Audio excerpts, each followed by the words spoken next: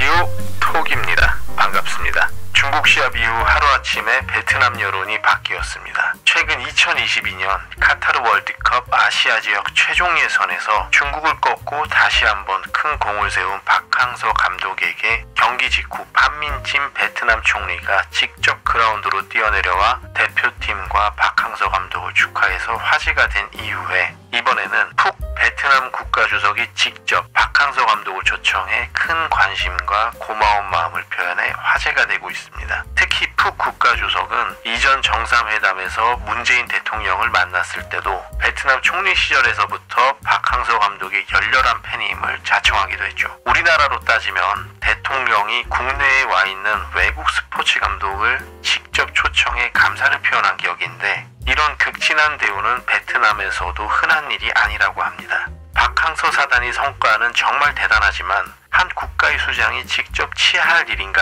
하는 생각이 들 수도 있는데 이번 카타르 월드컵에서 박항서 사단이 중국을 상대로 승리하면서 중국 축구의 월드컵 본선 진출과 축구 굴기를 원하던 시진핑의 꿈을 동시에 박살낸 이날이 바로 2월 1일이었습니다. 이날은 우리나라 설날이었는데요. 이는 농경 문화를 가진 동아시아 지역의 다른 국가들에게도 농사의 시작을 알리는 것으로 가족끼리 함께 모여 인사를 하고 음식을 나누는 등 우리와 비슷한 점이 많은 한 해 가장 중요한 날이고 중국에서는 이를 춘절이라고 합니다. 이런 날 박항서 사단에게 박살이 났으니 경기를 보고 TV를 부신 중국인이 이해가 가기도 합니다. 특히 시진핑은 축구를 통해 성장하는 중국의 모습을 대내외에 가시하려는 축구 굴기를 추진 중이었고 시진핑 개인적으로도 중국어로 추미라고 해서 축구 광으로 알려져 있어 중국 축구에 묘한 기류가 흐르고 있는 것 같습니다. 중국의 한 일간지는 중국 축구 국가대표팀의 주장인 하오준민을 포함한 대다수의 선수들의 연봉이 지급되지 않고 있는 상황이라고 전했습니다.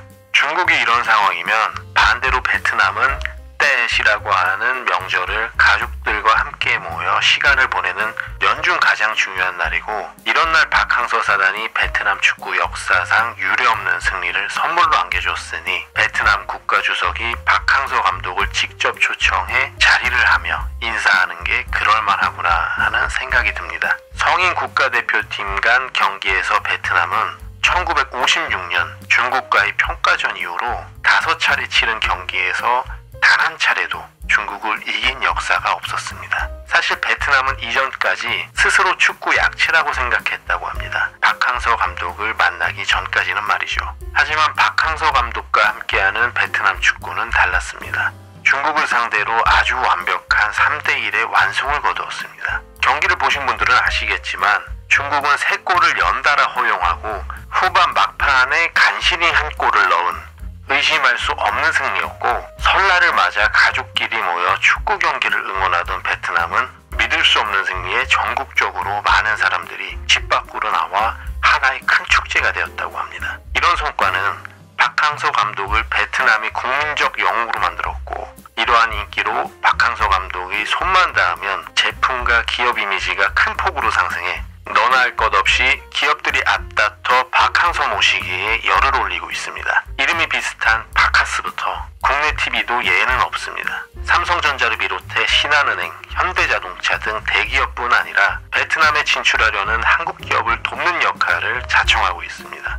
한 회사는 박항서 감독을 앞세워 전년 대비 매출을 50% 이상 올렸다고 하니 베트남이 국민 영웅 박항서의 파워가 어느 정도인지 조금은 알 것 같습니다. 한편 박항서 감독의 계약 기간은 2023년 1월까지로 재계약으로 기간을 연장하게 될지 아니면 다른 국가로 가게 될지에 대해 전 세계의 이목이 집중되고 있는 가운데 중국 역시 박항서 감독을 눈여겨보는 것 같다는 말을 하시는 분들도 계신데 아직 확인된 바가 없는 정보로 밝혀졌고 이런 이야기들 역시 많은 관심들이 있어 만들어지는 것 같습니다. 오히려 오는 6월에 우즈베키스탄에서 열리는 U23 아시안컵 조별리그의 황선홍 감독과 박항서 감독이 한 조에 속해 사제 대결 가능성이 집중이 됐었는데 박항서 감독이 5월까지만 U23 대표팀 감독을 겸임하고 국가대표에 전념하기로 해 사제 대결이 불발되었다고 합니다. 아마도 많은 분들이 내년까지 마무리를 잘 하고 건강하게 한국으로 금이한양하시기 바라는 마음이지 않을까 생각합니다.